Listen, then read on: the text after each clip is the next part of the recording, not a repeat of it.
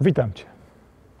Mój znajomy doświadczył kiedyś takiego bardzo trudnego spotkania, kiedy jego sąsiad mówi tak: Słuchaj, obserwuję Cię od pewnego czasu i widzę, że coraz bardziej, e, chociaż próbujesz się z tym kryć, widzę, że coraz bardziej brniesz w uzależnienie. Widzę, jak się chowasz za sklepem, wychodząc z jakąś małpką wódki, albo gdzieś po kryjomu w parku otwierasz piwo. Stary, niepokoi mnie to. E, Ludzie, którzy nie mają problemu z alkoholem, tak się nie zachowują.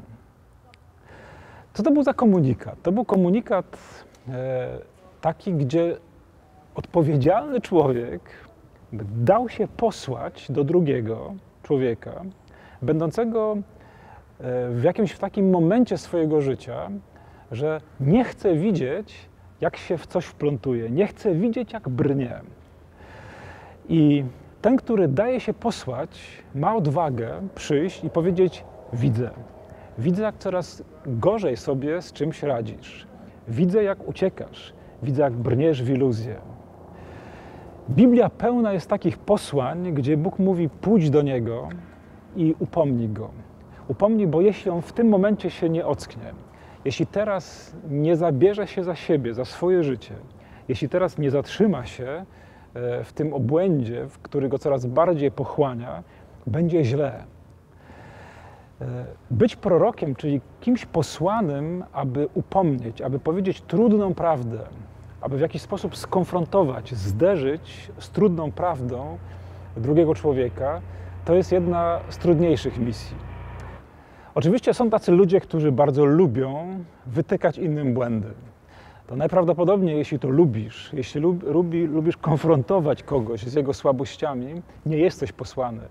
E, Wówczas posyła cię Twoja własna pycha, że Ty lubisz czuć się po prostu lepszy od innych ludzi. Ale jeśli masz opory, ale czujesz, że trzeba by zareagować, trzeba by upomnieć kogoś, aby całkowicie po prostu nie zniszczył sobie życia, aby nie niszczył życia innym ludziom, zrób to. Dobrze jest prosić Boga o taką pokorę, aby nie bać się, aby nie mieć poczucia niegodności, e, które by powstrzymywało cię przed powiedzeniem komuś trudnej prawdy, twojemu przyjacielowi, e, twojemu współmałżonkowi, e, komukolwiek. Proś o taką gotowość, aby pójść do Niego z takim właśnie posłaniem. Niedawno e, ludzie, których poznałem głosząc rekolekcję w Luksemburgu, powiedzieli mi następującą rzecz. Mężczyzna mówi tak.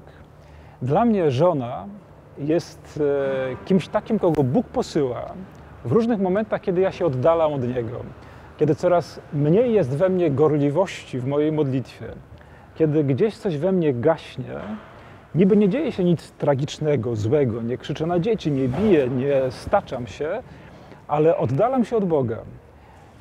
I w takich sytuacjach moja żona przychodzi do mnie i ma taką umiejętność, taką precyzję i taką odwagę, aby mnie z tym skonfrontować, aby powiedzieć: Ukochany, odchodzisz od tego, co jest naszym światem, co jest naszą wartością, co jest naszym pragnieniem. Widzę, że coś w tobie gaśnie. Kto jest na dziś takim człowiekiem, do którego Bóg cię posyła, abyś pomógł mu na nowo wyprostować się, abyś pomógł mu podjąć jakieś jakąś zaniedbaną życiową misję, e, którą Bóg pragnie, aby gorącym sercem realizował w swoim życiu. Do kogo Bóg cię posyła, abyś zaniósł trudną, wymagającą prawdę.